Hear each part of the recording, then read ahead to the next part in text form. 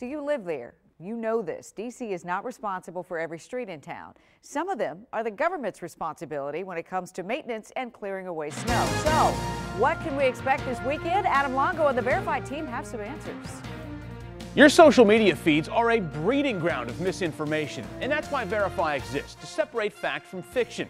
Government all shut down, so who's going to step up for the snow? Will the National Park Service be out salting streets and removing snow? And if not, will anyone? So we went straight to the source, the National Park Service, and they said yes, they will be treating roads and clearing snow from the GW Parkway, the Baltimore Washington Parkway, areas around Rock Creek Park, and other NPS properties. They're also repairing potholes and continuing long term projects that were funded before the shutdown. So our researchers also talked to Mayor Bowser's office. D.C. has been picking up the slack for the feds.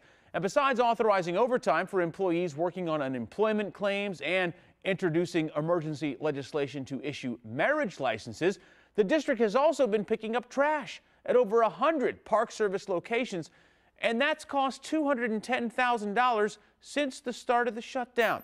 So we can't verify, yes, the National Park Service is working ahead of this weekend's storm to salt parkways, and they'll also remove snow.